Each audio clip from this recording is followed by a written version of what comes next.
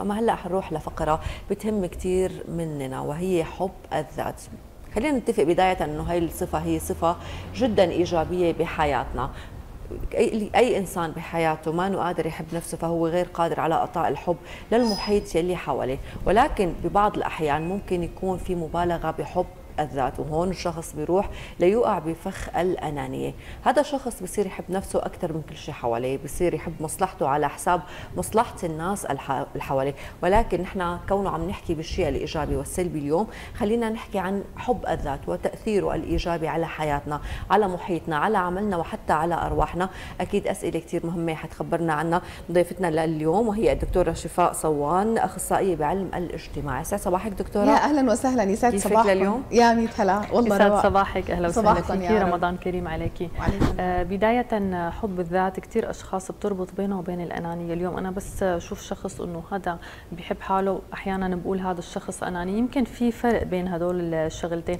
خلينا نحكي بداية نعرف شو هو حب الذات وكيف بيأثر على محيطنا. تمام. أول شيء حب الذات آه، كل ما الإنسان بيحب ذاته لازم ينعكس على الآخرين ويصير يحب الناس يحب بالكون يعطي.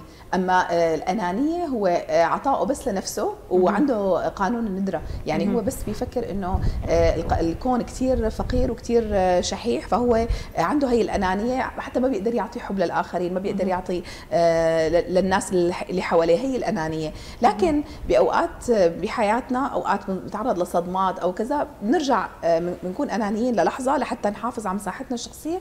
بعدين الإنسان طبع الإنسان محب للخير بيرجع مرة ثانية بيقدم خير وبيحب وبيرد بيرجع لكن بحواجز وحدود تحمي مساحته مساحته الشخصية ما تؤذيه نفسيا لما أي حدا بينكر أو بيبتعد أو هيك فهو بيضل محافظ على سلامه الداخلي.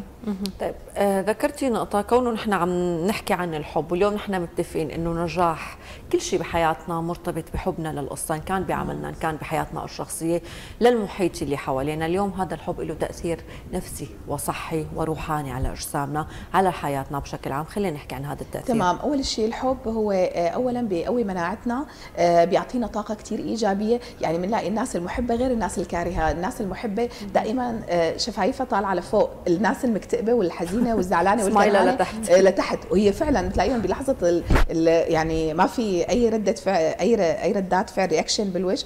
بتلاقيهم إنه يا هيك يا هيك. فدائما الناس الإيجابيين المحبين دائما ابتسامتهم موجودة. قلبهم نظيف بيسامحوا مباشره. بعد أي موقف آه، بيتجاوزوا بيتعلموا من أخطائهم وبيضلوا بيتجاوزوا. الحب بيعطينا طاقة كثير رهيبة لحتى نحقق أي شيء بدنا إياه. الشغف. يعني في ناس كثير من العلماء المخترعين الناس اللي آه، عملوا تغييرات عظيمة بالمجتمع هن آمنوا بنفسهم وحبوا. يعني حتى لما بتعاملوا بالإساءة أحبوا أحبوا أحبوا لحتى قدروا يعملوا الأثر الكبير يلي هو أثر الفراشة يلي أثر كبير برفرفات كثير صغيرة وبسيطة. حلو حلو التعبير أثر الفراشة. تماما. فهو كثير الحب هيك. الحب نحن بدنا نضل نحاول بدنا نضل نعمل بدنا نضل نساوي لحتى نضل نعمل نجرب قصص كثير لحتى نوصل لقلب هدول الأشخاص. بالذات إذا كانوا بيخصونا مثلا اولادنا آه، أهلنا آه، ناس بمحيط شغلنا لازم يكون عقلنا آه، قانون الوفرة اني أفكر بأكثر من طريقة لحتى أوصل لهذا الشخص. في كل إنسان له مفتاح لأوصل لمفتاحه. بجوز عنده شيء بطفولته مؤذي بجوز في مرق بشيء معين بجوز عنده ظرف معين. فنحن كل ما كنا أكثر حساسية وأكثر شفافية وبصيرة كل ما قدرنا نشوف ما وراء هالتصرفات وهالسلوك لنقدر نوصل أو نحمي حالنا مثل ما قلت من هدول الأشخاص إنه نعمل آه، لنا حواجز كرمال ما يفوتوا على مساحتنا الشخصية ويسببوا لنا ألم نفسي. طب إذا بدنا نحكي شوي عن نقاط أساسية لحب الذات اليوم آه، أنا كيف بدي أعرف حالي إنه أنا فعلا بحب ذاتي إنه أنا ما عندي هي الأنانية؟ آه، وإذا أنا ما عندي هذا الشيء حبي لذاتي أنا كيف ممكن خلي هذا الشيء يكون عندي؟ تمام. أول شيء حب الذات اهتمامنا بنفسنا بجسدنا. بروحنا آه ما باخذ أشياء بتضرني. ولو إنه مثلا كل المجتمع بيعمل هذا الشيء أنا ما بعمله مثلا. يعني في كثير هلا شغلات عادات سلبية مثلا مثل الدخان والأرجيلة وهيك قصص. الناس كلها حوالينا غالبيتها بعدم الوعي الوعي المنخفض هو عم بيخليهم يعملوا هذا الشيء. فدائما لما أنا بحب جسدي بقدسه خلص ما ما باخذ إلا الشغلات النظيفة. بحاول أزرع حوالين بيتي بحاول أزرع بالمكان اللي أنا موجودة فيه. لأنه كمان الزراعة أثبتوا علميا إن هي بتعالج أمراض حتى السرطانات. لأنه بذل الجهد والحب اللي نحن عم نقدمه كمان للزريعه هي روح كمان هي بتمتن وبتشكر لنا ورب العالمين بالكون بيبارك صحتنا عافيتنا. يعني لهيك بتلاقوا الناس اللي بيشتغلوا بالأرض غالبا هن الناس ما بيبردوا لأنه اللي بياكلوا من الأرض وبنفس الوقت آه، آه، حب وامتنان دائما لأنه هن بحالة عطاء مستمر. فهذا العطاء المستمر كمان بيرجع لهم بصحتهم بعافيتهم. آه، فكل ما كان الإنسان أكثر وعي بذاته كل ما يعني حب جسده حب الناس اللي حواليه عطاء غير مشروط وغير محدود لكن بحواجز تحمينا حتى الوقت يمكن الاخرين طبعا. ما بنخلي حدا يخترق لنا أوقاتنا الخاصة أو تماماً. مساحتنا الخاصة. تماما. آه اهتمامنا بالنظافه الشخصية بالنظافه الروحية الداخلية. يعني أنا آه إلا من أتى الله يعني ما حدا بفوت الجنة إلا من أتى الله بقلب سليم. القلب السليم شو هو؟ القلب اللي ما بيحمل حقد وكره. أنا دائما بقول للناس اللي بتحقد وبتكره وبتضل حاطة بالبالة ليه توسخوا القلب ويضل حامل وبثقل. دائما القلب الخفيف النظيف القلب الأبيض الشفاف يلي هو ما بيحمل أي شيء غير دغري بينظف بيفلتر بيسامح بيغفر بيتجاوز. لهيك بنشوف الناس الناجحين بالحياة غالبا هن بيتجاوزوا عن أذى معين تعرضوا له بطفولتهم أذى معين بمراهقتهم آه، أذى معين حتى بمكان عملهم بأي مكان بيكونوا فيه بعلاقات عائلية طلاق زواج أي شيء ممكن يكون مر حواليهم هن دائما بحالة تجاوز وحالة تطهير وتنظيف. لأنه نحن دائما إذا ما كنا بحالة هي التطهير والتنظيف صعب إنه نحن آه، حنثقل بالحياة ونتعب. ما حنقدر نتجاوز أي شيء بمر علينا يعني. طيب هون ما فينا ما نوقف عند نقطة عم تحكي فيها إنه اليوم نحن نتجاوز وكلنا متفقين اليوم إنه الإنسان قلبه صافي هو حدا ناجح بالحياة حدا آه خلينا نقول محبوب بأي محيط ممكن يكون موجود فيه غير الشخص الآخر. ولكن بلحظة ما بعمر معين بمرحلة ما من الحياة ممكن أي حدا يوقف على مراته ويقول أنا أعطيت كثير أنا بخلت على ذاتي وأعطيت هذا الحب لغيري. فبصير بين الفعل وردة الفعل راح لي الأنانية هل اليوم هذا الفعل هو أنانية عن جد أو هي ردة فعل على كمية العطاء اللي هو آه خلينا نقول عملت له بلوكات كثير بحياته. هلأ الإنسان بطبعه بيحب العطاء بطبعه لكن أوقات المواقف الأفكار البرمجة اللي هو بيتبرمجها سواء مثلا بمحيط آه، مجتمعه الناس اللي حواليه آه، صديق سلبي ممكن يقول له ليش تغفر وتسامح خليك أناني وكذا آه، فدائما كل ما الإنسان حب ذاته بيحب الآخرين وبيغفر لهم وبيتمنى لهم الأفضل. مع هالشيء بيحاول يحمي يحمي نفسه. بنفس الوقت آه، أنا عدم حبي لذاتي بيخليني بحالة عدم استحقاق عدم استحقاق لعلاقات جيدة عدم استحقاق لوظيفة جيدة عدم استحقاق للوفره آه، بالكون. فكل ما كان عندي حب لذاتي أنا عندي استحقاق. كيف بعرف إني أنا بحب ذاتي ولا لا؟ لنرجع نفس الفكرة إنه أنا كل ما كنت آه، أظن إني أنا أستحق الأفضل وغيري يستحق الأفضل فأنا بساعد نفسي وبساعد غيري. كل ما كنت أنا عندي هي الندرة إني أنا ما بقدر يعني لا عم بقدر ساعد حالي ولا عم بقدر ساعد غيري. ودائما عندي حالة الأنانية وإنه آه، آه، كره الآخرين مقابل حب الذات هون أنا بخسر لأنه أنا الإنسان الذكي بيربح وبيربح الآخرين طيب إذا كانت عن ردة فعل عن ردة فعل بسبب مواقف طبيعي. خذلان خلينا نقول تمام. القصص. طبيعي جدا. طبيعي جدا إنه الإنسان يمر بهي المرحلة الأنانية وهي هي بداية صحوة. فلما الإنسان بيكون هي بحالة الصحوة بيرجع بيتوازن وبيعمل عطاء آه، محدد آه، لحتى يح... منه كمان بيعمل حماية لنفسه من أشخاص سلبيين ممكن يمروا عليه ويأثروا على طاقته يعني. قلتي لي جملة من لا يتألم.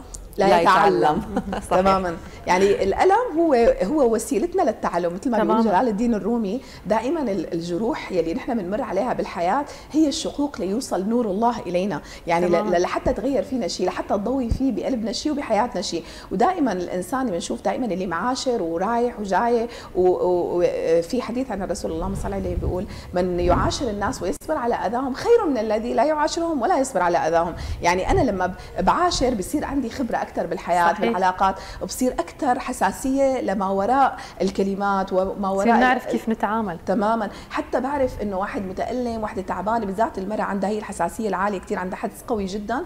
وفيك كمان الله عاطي رجال هي هي لكن هي سبحان الله الله أعطاها للمرأة لأنه هي الأم هي الاحتواء فهي دائما عندها هي الحساسية العالية. بتشوف شخص بتقول له ليش شبك؟ شو صاير معك؟ شو صاير معك؟ شو مريتي تماما. الله أعطاها هذا الحدس النور الإلهي هي البصيره تشوف ما وراء ال ال الشكل أو ما وراء السلوك. إذا بدنا نحكي شوي عن التسليم والتقبل الواقع اللي نحن فيه نحن خلص إنه مسلمين كل شيء نحن رضيانين بالشيء اللي نحن فيه وعلاقته بحب الذات. تمام. هلأ كل ما حبينا ذاتنا بيكون لنا أهداف وطموحات عالية ونبيلة جدا. بالمقابل كمان بصير عندنا تسليم ورضا لأي شيء من آه، آه، من مرفي. فأي قدر بيمر علينا حتى لو كان ظاهره سلبي في باطنه إيجابية كثير مثل ما بيقول ابن عطاء الله السكندري بيقول بمقولة له تقريبا إنه إنه مو دائما ظاهر الأشياء هي الحقيقة يعني. في وراء خير كثير في وراء كل خير شر وفي أوقات بالشر بنلاقي خير يعني. فالإنسان ما يشوف ظاهر الأشياء لأنه الرضا والتسليم بيكون قبول. أنا رضيان يا ربي عنك ورضيان عن أقدارك. فبالتالي هو بيكون عنده هذا الرضا والتسليم لأنه حتى تجاه الأشخاص اللي هن آذوه أو آلموه هو رسالة لحتى يتعلم لحتى يكبر لحتى يوعى لحتى يكون أكثر رحمة. يعني تعرضنا لعدم الرحمة بوقت من الأوقات بخلينا رحيمين أكثر لما نكون عندنا هي القدرة العفو عند المقدرة. يعني كل ما الإنسان كبر في عين ذاته وحب ذاته داخليا وعنده احترام شديد لذاته بيحترم الناس اللي حواليه بيقدر الناس اللي حواليه بيقدر حتى الأشياء البسيطة جدا بيقدر نعم الله. لو كانت آه، هي ما بسيطة كل نعم الله هي جميلة جدا. من ضوء الشمس للهواء للمي لأي شيء نحن الامتنان. وإن شكرتم لأزيدنكم. الإنسان اللي بيحب ذاته دائما بحالة امتنان. أي حدا بيقدم له معروف بيشكر. أي شيء بيمر عليه آه، نعمة بيستمتع فيها بيشكر. أي ظرف بيمر عليه موقف معين بيشكر. لئن شكرتم لأزيدنكم. وهذا الشكر هي آه، بيسموها الغربيين كمان فكرة الامتنان. الامتنان لما أنا بمتن جدا لله وللكون وللأشخاص اللي قدموا لي خير بحياتي. ودائما بذكر بذكرهم بالخير فهذا بيدل على أصالة وبيدل على آه، نقاء داخلي بخليني آخذ أكثر والمزيد من هذا الكون. طيب أه بدي أرجع أنا على هي النقطة يعني بس خليني أروح لموضوع أه الاستحقاق. وهي القصة جدا مهمة بحياتنا. أنا شو بستاهل؟ ثقتي بنفسي. أه قد إيه اليوم مهم أو مرتبط بحب الذات موضوع الاستحقاق؟ اليوم في أشخاص آه، سلبيين في أشخاص إيجابيين في مواقف أيضا سلبية وإيجابية. أنا كيف قادرة آخذ الشيء الصح وأبتعد عن السيء عن طريق حب الذات؟ تمام. هلا الاستحقاق هو حالة من الرضا عن الذات وبنفس الوقت احترام الذات ومعرفة قدرها. ما هلك امرؤ عرف قدر نفسه كل ما كان الإنسان بيعرف قدر نفسه كل ما كان عنده هذا الاستحقاق. مثلا كثير بشوف ناس عندهم شهادات معينة آه، دراسة معينة شغل معين بيقول لك إنه أنا والله آه، ما ما في تقدير لي بهذا المكان وما في كذا 그래서 انت ليش ما عرفت قدرك؟ لأنه لما بتعرف قدرك بيجي المكان والشخص المناسب بيجي رسول من الكون لإلك لحتى ياخذك للشيء اللي انت بدك اياه. دائما نحن بنجذب الاشياء اللي نحن بنفكر آه، فيها سواء خفنا منها أو سواء حبيناها. فكل ما كان الإنسان بحب وعنده آه، آه، تطلع لشيء معين بحياته كل ما جذب هذا الشيء له وجذب أحداث وأقدار كثير نحن بنشوف إنه اشتهينا أكلة معينة بيجي شخص بيقدم لنا إياها. جاي على بالنا نروح مشوار معين بيجينا فجأة يعني ف القصة مرصودة. فقط الإنسان يفكر ولكن لا يتعلق. يعني التعلق كمان بيخلي القصص تهرب منا التعلق الشديد بيعطينا آه، حالة توتر. لهيك ما بنوصل للشيء اللي بدنا إياه. نحن بنعمل اللي علينا والباقي على ربنا زي ما بيقولوا إخواتنا المصريين. فالإنسان يعمل الأشياء اللي عليه بنفس الوقت رضا وتسليم لحاله. الأشياء اللي نحن بنفكر فيها هي لحالها بتجينا راغمة. لكن لما نحن بنتوتر من بنتأزم بنصير عندنا قانون الندرة إني أنا بدي آخذ محلي ومحل غيري بدي آه، ساوي هي القصة بدي آه، احاول إني أكسب على حساب غيري بدي أحاول أستغل الناس اللي عم يشتغلوا معي. مثلا في كثير هلأ ناس يعني بي بي بصراحة بفكرة التطوع وكذا ورمضان عم عم يستغلوا ناس بسطاء كثير يعني أنا أنا برأيي إذا الله كرمكم كرموا اللي حواليكم. على أقل شيء يعني حكت لي وحدة إنه أقل شيء وجبة ما بيعطوها طول النهار من الصبح للمساء هي عم تشتغل معهم بوجبات الإفطار. يعني أقل تقدير وشكر لله آه، عن طريق هذا الشخص لأنه لو ما هذا الشخص أنت ما بتقدر تنجح بهذا المشروع يعني تماما. يعني أنت أخذت من وراهم كثير قصص وشغلات.